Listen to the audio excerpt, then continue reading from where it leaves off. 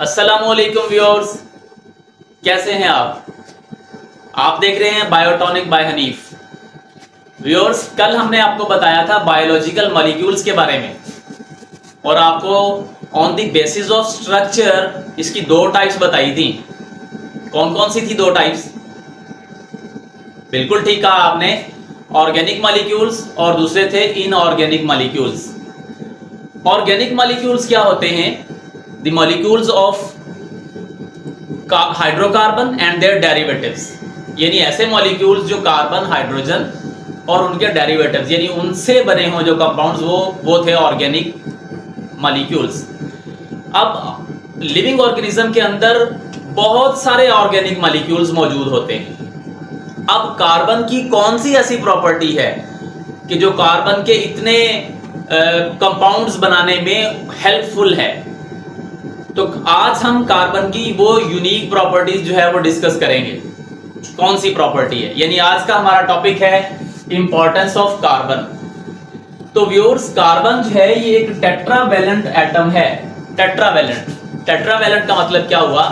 Tetra का मतलब होता है फोर वेलेंट मीन वैलेंसी यानी the element which has valency four जिसकी वैलेंसी जो है वो कितनी होती है? चार। या आप यूँ भी कह सकते हैं कि जिसके वैलेंस शेल में चार इलेक्ट्रॉन हो, उसको क्या बोलेंगे? टेट्रावेलेंट तो इसका मतलब ये चार कोवलेंट बॉन्ड बनाने की एबिलिटी रखता है।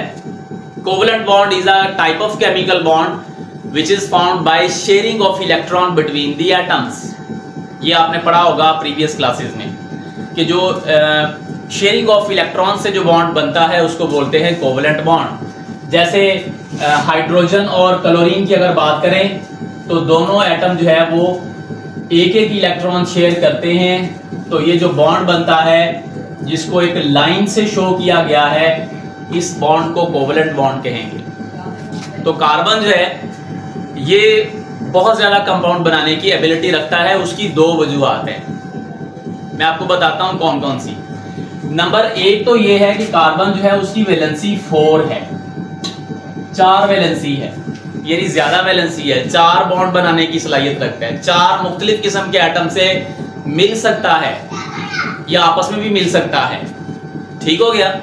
और दूसरा ये कि carbon carbon bond is much stronger than any other atom ये जो बॉन्ड है, जो कार्बन और कार्बन के दरमियान बना, ये स्ट्रॉन्गर होता है। इसलिए carbon has property to bond with itself to form long chain and rings यानी लंबी चेन वाले मॉलिक्यूल्स भी बना सकता है और रिंग स्ट्रक्चर भी बना सकता है।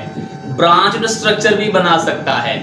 इस एबिलिटी को बोलते हैं कैटिनेशन ये भी आपने शायद प्रीवियस क्लासेस में पढ़ा हो कैटिनेशन क्या मतलब हुआ इसका? कैटिनेशन की डेफिनेशन क्या होगी? The ability of carbon atoms to form bonds with itself. To form long chain and rings is called catenation. तो कार्बन में एक प्रॉपर्टी है कैटिनेशन की. ये दो प्रॉपर्टीज़ की वजह से, कि एक उसकी वैलेंसी चार है, और दूसरा ये कि कार्बन कार्बन बॉन्ड जो है वो स्ट्रॉन्गर है. तो इसीलिए कार्बन के बहुत ज़्यादा मालिक्यूल्स बनते हैं. जैसे मैंने आपको आ, मैं आपको बताता हूँ जैसे सपोज़ करें कि ये ये कार्बन एटम जो है ये लॉन्ग चेन बना रहे थी। लॉन्ग चेन अब मैंने आपको बताया कि कार्बन की वैलेंसी फोर है। इसका मतलब यानी चार कोवलेंट बॉन्ड बनाने की एबिलिटी रखता है। तो ये चार बॉन्ड पूरे कर दें इसके आप। हाइड्रोजन जो है वो एक बॉन्ड बनाने की एबिलिटी रखता है। इसी तरह ये चार बॉन्ड पूरे हो गए। इस कार्बन के चार बॉन्ड पूरे हो गए। इस कार्बन के चार बॉन्ड पूरे हो गए। इस कार्बन के भी चार बॉन्ड पूरे हो गए। इसी तरह ये चेन आगे भी जा सकती है। ठीक है? इस एबिलिटी को बोलते हैं कैचिनेशन अब कितने कार्बन इसमें लगे हुए हैं? छह कार्बन लगे हुए हैं। तो इसको हेक्सेन कहेंगे एन हेक्सेन कहेंगे। तो ये है अनब्रांच्ड स्ट्रक्चर अनब्रांच्ड स्ट्रक्चर ये तो मैंने छह बनाए ना। इस तरह बहुत से कार्बन एटम जो है वो ज्वाइन हो सकते हैं। Hundreds more than hundreds carbon atom जो है वो ज्वाइन होके लंबी चेन वाले मॉलिक्यूल्स भी बना सकते हैं। ये मैंने छः की चेन बना के रोक दिया उसको। अच्छा ये तो होगी लॉन्ग चेन स्ट्रेट चेन अब ये स्ट्रेट चेन की बजाय ये कोई ब्रांच भी हो सकती है। यानी मैंने आपको बताया था ना कि कार्बन कार्बन के साथ बॉन्ड बना सकता है, ऐसे भी बना सकता है। तो अब अगर देखें तो कार्बन का एक बॉन्ड ये है तो इसके तीन तरफ़ हाइड्रोजन सही है? इस कार्बन के तीन बॉन्ड हैं तो एक हाइड्रोजन इस कार्बन का एक बॉन्ड है तो तीन हाइड्रोजन इस कार्बन का भी एक बॉन्ड है तो तीन हाइड्रोजन तो ये हो जाएगी ब्रांच्ड हाइड्रोकार्बन ये है ब्रांच्ड ठीक है? तो कार्बन जो है, ये ब्रांच स्ट्रक्चर भी बना सकता है। और स्ट्रेट चेन स्ट्रक्चर भी बना सकता है। ठीक है?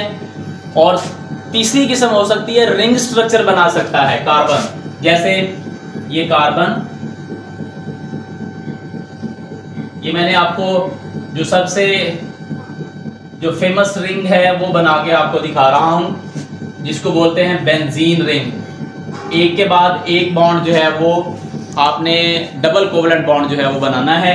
तो अब कार्बन जो है, इस कार्बन की अगर बात करें तो तीन हाइड्रोजन तीन बॉन्ड बने हुए हैं। एक हाइड्रोजन इसके साथ अटैच होगा, चार पूरे। इसके साथ भी एक, इसके साथ भी एक, इसी तरह इसके साथ भी एक, इसके साथ भी एक हाइड्रोजन और इसके साथ भी एक हाइड्रोजन तो ये स्ट्रक्चर बन गया सी सिक्स एच सिक्स ये स्ट्रक्चर है रिंग स्ट्रक्चर ठीक है? तो कार्बन देखो लॉन्ग चेन बना रहा स्ट्रेट चेन ब्रांच या फिर रिंग स्ट्रक्चर बना रहा। तो मुख्तलिफ़ किस्म की स्ट्रक्चर्स बनाने की वजह से कार्बन की वैरायटी है कंपाउंड्स की। ठीक हो गया? अब कार्बन, ये तो कार्बन जो है ना, अब कार्बन जो है ना, वो आपको मैंने तीन एग्जांपल दी कि लॉन्ग चेन स्ट्रेट स्ट्रेट और रिंग स्ट्रक्चर और ब्रांच स्ट्रक्चर तीन। कार्बन जो है, इसके अलावा ये हाइड्रोकार्बन के अलावा कार्बन दूसरे एलिमेंट से भी मिलता है, जिनमें हाइड्रोजन जिनमें ऑक्सीजन जिनमें नाइट्रोजन है फास्फोरस है सल्फ़र है तो इन सब एलिमेंट्स के साथ भी कार्बन जो है वो कंबाइन होता है कोवलेंट बॉन्ड बनाता है। तो इसीलिए कार्बन की वैरायटी है कंपाउंड्स की वैरायटी है कंपाउंड्स की। इसकी एग्जांपल तो मैं आपको दे चुका ठीक है? अब कार्बन जो है, ये ऑक्सीजन से भी मिलता है। जैसे हम पढ़ेंगे ग्लाइकोसिडिक लिंकेज में। ग्लाइकोसिडिक लिंकेज आगे टॉपिक आ रहा है हमारा कार्बोहाइड्रेट्स उसमें आपको बताएँगे कि दो मोनोसेक्राइड्स जो है, वो मिलते हैं तो उनके दरमियान जो लिंक बनता है, वो ग्लाइकोसिडिक लिंक होता है। और ये जो ग्लाइकोसिडिक लिंक है, ये दो मोनोसेक्राइड्स को जोड़ने का काम करते हैं। तो वहाँ कार्बन जो है, वो ऑक्सीजन से भी मिल रहा। ठीक?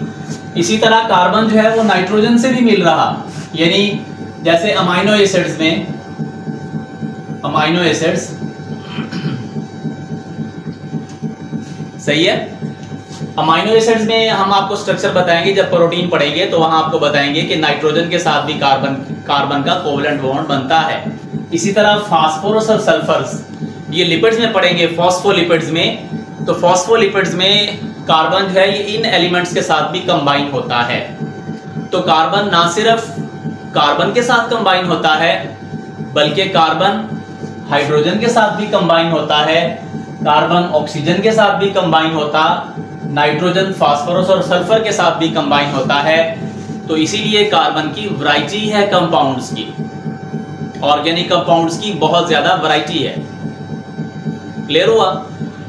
अब अगर वैरायटी के हिसाब से बात करें तो कार्बन के दो तरह के मॉलिक्यूल्स बनते हैं। एक होते हैं मैक्रो मॉलिक्यूल्स यानी बहुत बड़े मॉलिक्यूल्स बनते हैं। अब ये जो कार्बन के जो बड़े मॉलिक्यूल्स होते हैं, जिनका मॉलिक्यूलर साइज़ बड़ा होता है, जिनका मॉलिक्यूलर वेट ज़्यादा होता है, वो होते हैं इनसोलुबल इन वाटर जैसे स्टार्च जैसे ग्लाइकोजन जैसे लिपिड्स लिपिड्स ये क्या है? ये है इनसोलुबल इन वाटर पानी में हल नहीं होते। तो ये या तो स्ट्रक्चर बनाने में यूज़ होंगे स्ट्रक्चर ऑफ़ सेल कह लें, या स्ट्रक्चर ऑफ़ ऑर्गेनेली बनाने में यूज़ होते हैं। जैसे आपने प्रीवियस क्लासेस में पढ़ा हुआ है सेल मेम्ब्रेन या सेल वॉल सेल वॉल की स्ट्रक्चर काइटन या सेलुलोज से बनी होती है। तो सेलुलोज जो है, ये भी बड़ा कार्बन का कंपाउंड है। इसी तरह काइटन की बनी हुई सेल वॉल हो सकती है। तो ये जो है ना, ये पानी में चुके हल नहीं होते। इसीलिए ये सेल की स्ट्रक्चर बनाने में यूज़ होंगे। या फिर ये होगा कि जब ज़रूरत पड़ेगी तो ये फिर डिसोसिएट होकर टूट कर छोटे मालिक्यूल बनाते हैं। जैसे ग्लाइकोजन जो है ये टूट कर ग्लूकोज बनाएगी तो एनर्जी प्रोवाइड करेगी। एटीपी की फॉर्म में एनर्जी प्रोवाइड करेगा ग्लूकोज ठीक है? तो ये जो है ना, ये स्ट्रक्चर बनाने में भी यूज़ हो सकते हैं, या एनर्जी प्रोडक्शन में भी यूज़ हो सकते हैं। ओके दूसरा छोटे मालिक्यूल्स हैं, जिनका मालिक्यूलर साइज़ छोटा है माइक्रो मालिक्यूल्स तो ये माइक्रो मालिक्यूल जो है, ये एक तो मैंने आपको बताया कि एनर्जी प्रोवाइड करेंगे, जैसे ग्लूकोज है। तो ग्लूकोज है, ये एक ग्लूकोज का मालिक्यूल जब हम इसकी ऑक्सीडेशन पढ़ते हैं, यानी बायोनेटेटिक्स में आपको इसकी डिटेल भी बताएँगे तो एटीपी जो है, इससे रिलीज़ होती है एटीपी जो कि एनर्जी पैकेट है। वो एनर्जी को हम यूज़ करेंगे डिफरेंट पर्पजेस के लिए, ठीक है? तो एक तो इससे एनर्जी बनती है ओके? और दूसरा ये कि जब जो एक्सेसिव ग्लूकोज होंगे, जब ग्लूकोज की मिकदार बॉडी में ज़्यादा हो जाए तो ग्लूकोज फिर स्टोर होता है।